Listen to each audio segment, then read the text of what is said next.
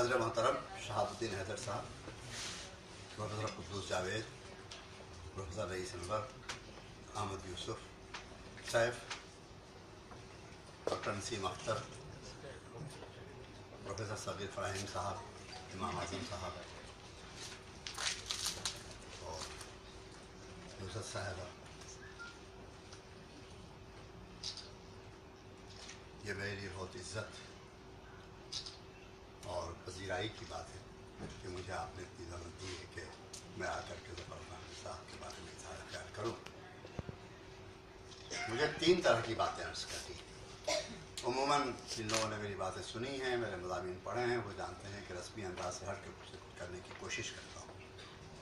پہلی بات تو مجھے یہ عرض کرنی ہے کہ اس طرح کی شخصیتوں پر اگر سیمینار ہو، تو اس کے پروگرام کی، اس کے سسٹم کی تشکیل کیسے ہونی چاہیے؟ دوسری بات یہ عرض کرنی ہے مجھے کہ اس طرح کی شخصیتوں پہ اگر پروگرام ہو، تو ان کی شخصیتوں کی یادوں کو تو باقی رکھنا اور ریوائیو کرنا، اس کا احیاء کرنا اگلی نسل کا فریضہ ہے۔ لیکن اس سے زیادہ اہم بات یہ ہے کہ ان کے ہاں اگر کوئی غیر معمولی کارنامہ انہوں نے انجام دیا ہے اور ان کی چیزیں ایسی ہیں جو ادب کی تاریخ میں زندہ رہ سکتی ہیں، تو ان کو ہائی لائٹ کرنے کی تیسری بات یہ ہے کہ ہائی لائٹ کرنے کا طریقہ یہ ہو سکتا ہے کہ جیسے ظفر غانوی صاحب کی تحقیقی، علمی اور صحافتی خدمات ہیں، ان خدمات کو کیٹریگائز کرنے کی ضرورت تھی اور اسی طریقہ سے اگر قابل ذکر کوئی آدمی ہو جس پر آپ سیمینار کرنے جا رہے ہوں، پہلی بات تو یہ ہے کہ میں بات واضح طور پہ کہہ دوں کہ اگر کوئی قابل ذکر آدمی نہیں ہے، کسی کے غیر معمولی خدمات نہیں ہیں، تو صرف یادگاری جلسے اور تہنیتی جلسے کر کر کے سخت ہو جانا چاہیے۔ دو تین گھنٹے کا لیکن سیمینار اگر ہے تو سیمینار کا مطلب ہے ڈسکشن اور ڈسکشن کا مطلب یہ ہے کہ دیر پا باتیں جو ان کی تحریروں میں ملتی ہیں، ان کو ہمیں باقی رکھنے ان کو ریوائو کرنے ان کو زندہ کرنے ان کو لوگوں تک پہنچانے کی کوشش کرنی چاہیے۔ ذکر اظہر عوانوی صاحب اتفاق سے انہی شخصیات میں سے ہیں کہ جن کی تحریروں میں بڑا دم خم تھا اور بڑی جان تھی۔ مجھے بڑی حیرت ہوتی ہے کہ پچھلے پندرہ بیس برسوں میں اور بالخصوص ظفر غانوی صاحب کے انتقال کے بعد جو چیزیں ان کے بارے میں لکھی گئی ہیں، ان کا زیادہ تر انحصار ان کے افسانوں پر رہا ہے۔ بیچ کا ورق ان کے افسانوں کا مجموعہ ہے۔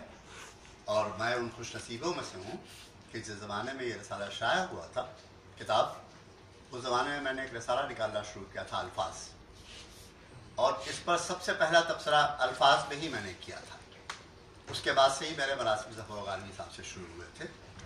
اور چونکہ میں اس وقت بھی آج ہی کی طرح۔ رسمی اور روایتی اور تقلیدی انداز میں باتیں نہیں کرتا تھا، اس لیے صرف اس لیے نہیں کہ جدیدیت کی علم برداری اس کے اندر پائی جاتی ہے، صرف اس لیے نہیں کہ علامتی افسانے یہ ہیں، صرف اس لیے نہیں کہ تجریدی افسانے یہ ہیں، صرف اس لیے نہیں کہ نئے اسکول میں یہ افسانے لکھے گئے ہیں، بلکہ اس لیے کہ اگر اس میں کچھ ہے بیانیے میں طاقت ہے اگر، اس کی کردار نگاری میں اگر کوئی طاقت ہے، کہانیوں میں کوئی طاقت ہے اگر، فن میں کوئی طاقت ہے اس کے اندر اسلوب بیان میں اگر کوئی طاقت ہے تو اس کی نشاندہی کی جائے اور میں نے اس کی نشاندہی کرنے کی کوشش کی تھی اور بجا طور پہ ان باتوں کا اعتراف کیا تھا، صرف ان باتوں کا اعتراف کیا تھا جن باتوں پر اعتراف کرنے کی ضرورت تھی اور ان باتوں پر کسی حد تک کریٹیکلی نگاہ ڈالی تھی جن باتوں سے مجھے اتفاق نہیں تھا۔ ہو سکتا ہے میں غلط رہا ہوں۔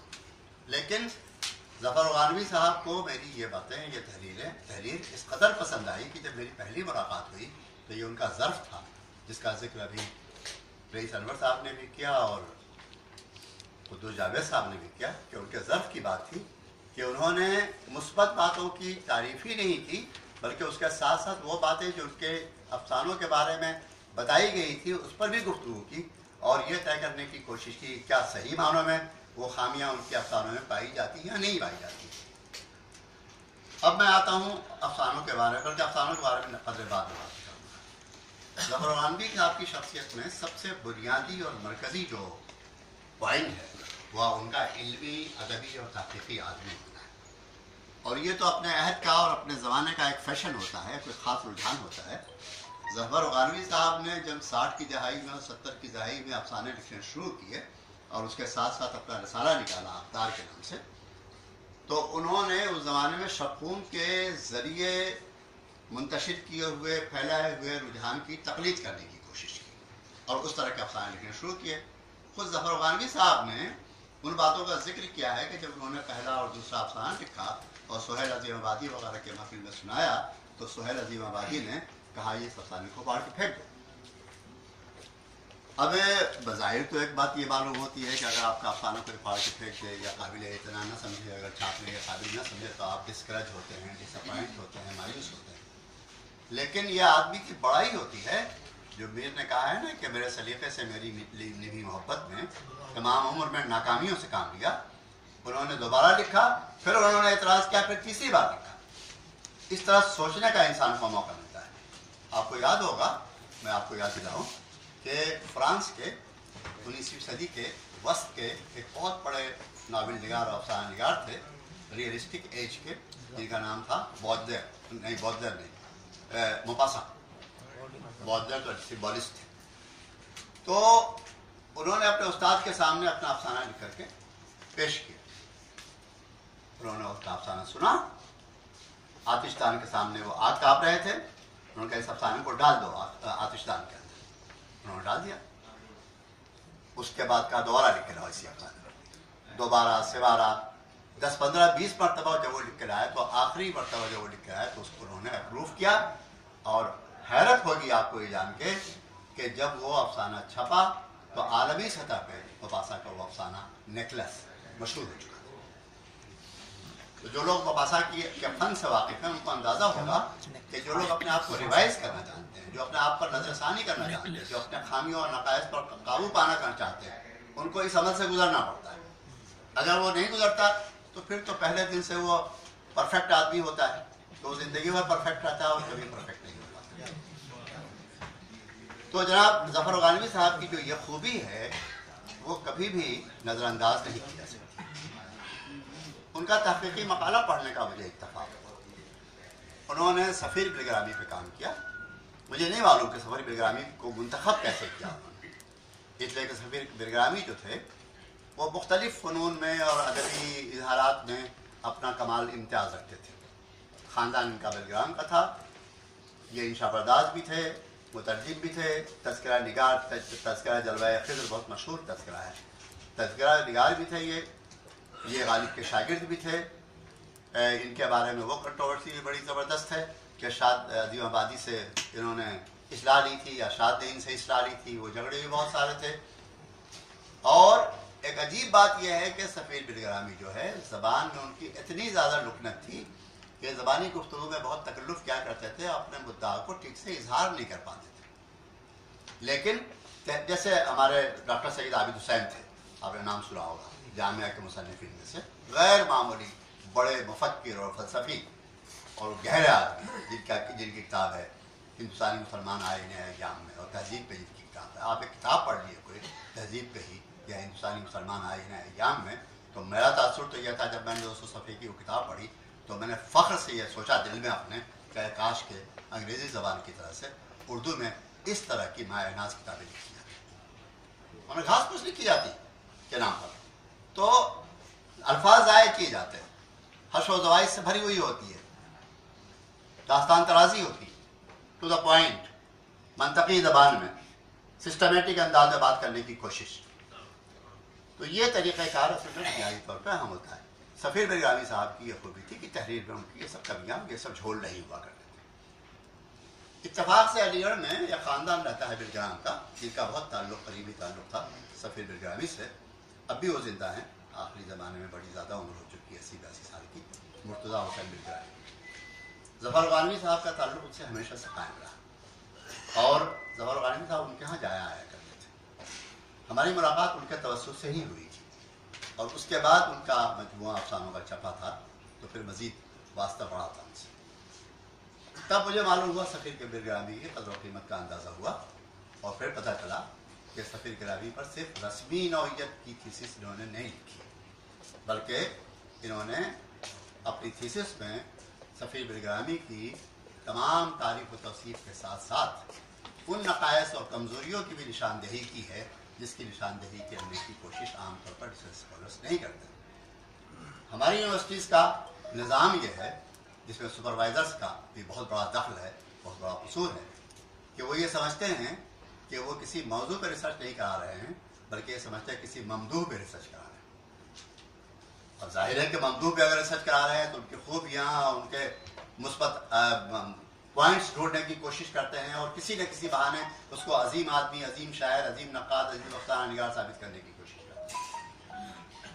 ظفر صاحب نے جو سفیر بلگرامی پہ ریسرچ کی، تو اس ریسرچ میں انہوں نے واضح طور پر ان کے ہاں جو تسامحات در آئے تھے، بزرگوں کی غلطیوں کو تسامحات بھی کہتے ہیں۔ تو جو تسامحات در آئے تھے، ان تسامحات کی نشاندہی کی۔ بلا تکلف۔ اور انہوں نے ان باتوں کی نشاندہی کر کے ان مسائل کو حل کرنے کی کوشش کی۔ جیسے شاد کا مسئلہ ہے اور سفیر برگادی کے تعلق کا مسئلہ تھا۔ جیسے تذکرہ جلوہ خضر کا مسئلہ ہے۔ یہ بہت مشہور تذکرہ ہے۔ جلوہ خضر جو اس زمانے کے شاعر عتیق تھے۔ تو میں ابھی صبح ذکر کر رہا تھا رئیس انور صاحب سے کہ تذکروں کی خوبی یہ ہوتی ہے، تذکرے تنقید تو پہلے ہوا نہیں کرتی تھی۔ حالانکہ آج بھی بہت سے جیالے ایسے ہیں جو تنقید کے نام پہ تذکرہ نگاری کرتے رہتے ہیں، لیکن ان جیالوں کا ذکر مقصود نہیں۔ لیکن خوبی یہ ہوتی ہے کہ تذکروں میں شاعروں کے ناموں کا انتخاب ہوتا ہے۔ دوسری خوبی یہ ہوتا ہے، ہوتی ہے کہ ان تذکروں میں ان شاعروں کے کلام کا انتخاب ہوتا ہے۔ اور تیسری سب سے بڑی خوبی یہ ہوتی ہے کہ تذکروں میں جو رائے دی جاتی ہے اپنے زمانے کے اور اپنے ماقبل کے زمانوں کے شاعروں کے بارے میں، ان کے اسباب و عوامل بتائے جاتے ہیں۔ اب ایک بڑا سوال یہ رہا ہے ہمارے نقادوں کے درمیان کہ صاحب، اس زمانے میں جو رائے دی جاتی تھی، وہ تنقیدی رائے ہوتی تھی یا نہیں؟ اگر تنقیدی نقطے نکالنے کی کوشش کی جائے، اس کے قدر و قیمت تک پہنچنے کی کوشش کی جائے، ان کا صحیح معنوں میں ایویلویشن کرنے کی کوشش کی جائے، ان کی حیثیت متعین کرنے کی کوشش کی جائے، تو کیسے ممکن ہے؟ اس سلسلے میں نیر مسعود نے، ڈاکٹر عابد علی عابد پاکستان نے شمش الرحمان فاروقی نے، کسی حد تک ناچیز نے، مشرقی شہریات میں تفصیل سے چیپٹر لکھے۔ اس اور ہم لوگوں نے یہ ثابت کرنے کی کوشش کی ہے کہ تذکرہ نگاروں کی اس طرح ہیں۔ خوش بیانی، قادر الکلامی، فرض کیجیے مضمون آفرینی، معنی آفرینی شیر شورنگیز شورنگیزی، ان سب کے معنی اس زمانے میں کیا تھے اور آج اس کے معنی کیسے تبدیل ہو گئے؟ کیا ان الفاظ سے اس شاعر کی شناخت میں کچھ مدد بھی ملتی ہے یا نہیں ملتی؟ اور اس طریقہ سے اس کو زندہ کرنے کی کوشش کی۔ ظفر غالبی صاحب نے سفیر بلگرانی کی کتاب میں تذکرے میں، جلوہ خضر میں، جو شاعروں کا ذکر ہے اور شعروں کے انتخاب میں جو کمیاں ہیں، بعض مصرے غیر موضوع ہو گئے ہیں، بعض مصروں کا انٹرپریٹیشن غلط کیا گیا ہے، بعض مصروں کی تشریح غلط کی گئی ہے، ان تمام چیزوں کو اٹینڈ کرنے کی کوشش اور انہوں نے ان باتوں کی نشاندہی کی۔ اس سے کیا اندازہ ہوتا ہے؟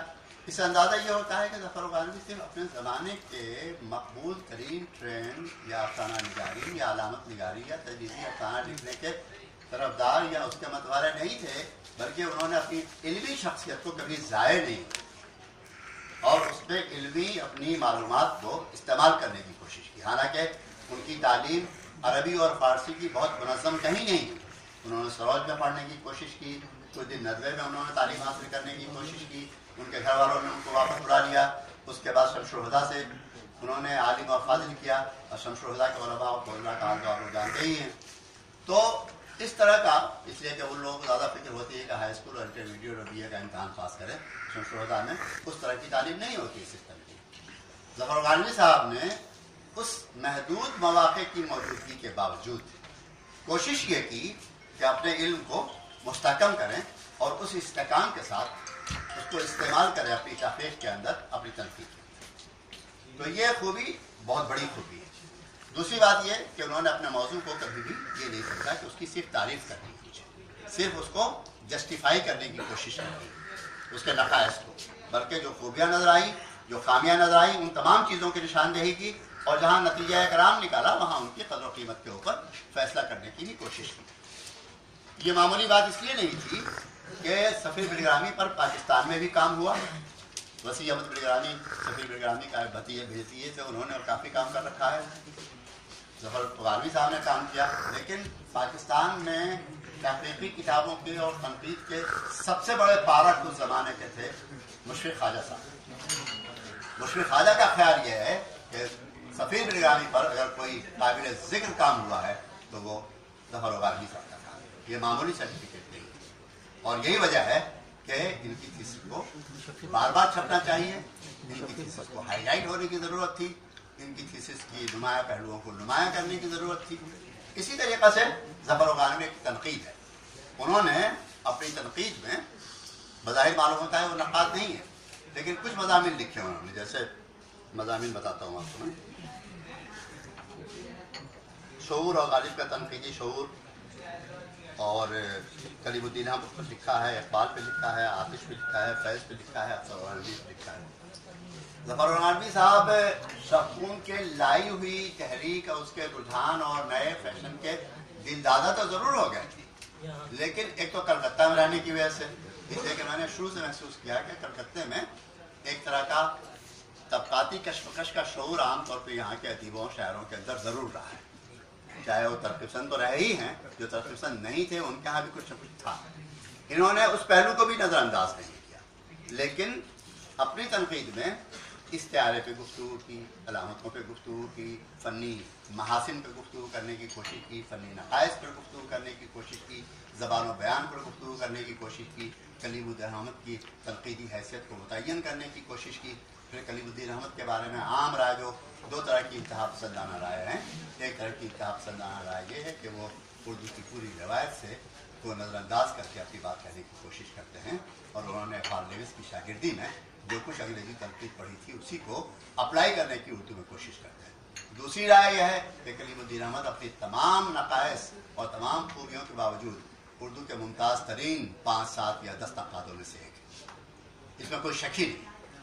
اس لیے کریم الدین احمد حالی کے بعد اگر کسی ایک شخص نے غیر معمولی طور پر پرفیکٹ منطقی لاجیکل نثر لکھنے کی کوشش کی ہے تو کریم الدین احمد۔ حشو و زوائی سے بالکل پاک، غیر ضروری جملے اور غیر جملے، جسے انگریزی میں کہتے ہیں، کلیشز کلیشز سے اور گیارگن سے بچتے ہوئے۔ اور ٹو دا پوائنٹ بات کرنے کی کوشش ہر نسل ان کی ٹرانسپیرنٹ آپ کو نظر آئے گی، جو کچھ ہے وہ آپ کو صاف صاف دکھائی دے رہی ہے۔ یہاں ایک بات اور ذکر کر دوں میں، کہ جدید رجحانات میں جو علامتی افسانے اور تجریدی افسانے کا زور اتفاق سے انیس رفیع صاحب کا نام لینا میں بھول گیا تھا، بہت احترام کے ساتھ، یہ بھی افسانہ نگار اسی پائے کے رہے ہیں۔